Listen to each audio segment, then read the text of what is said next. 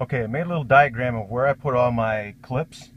So I'm going to actually take a drive and show you what it sounds like because um, this the bearing in the differential is definitely bad in the carrier. So we're going to take a little drive here.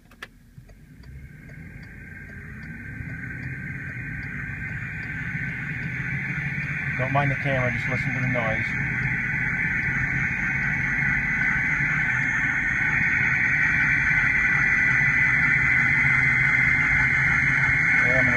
to another section.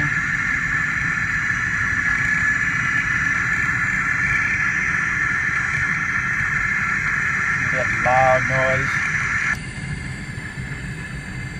That's a different side of the differential. This is the noise right here that you're going to hear.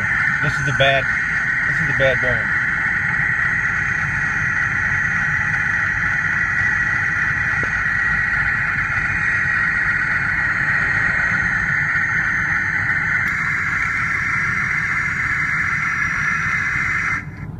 Okay, so white,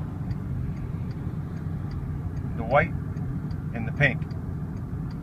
And that is the side that always goes bad, okay?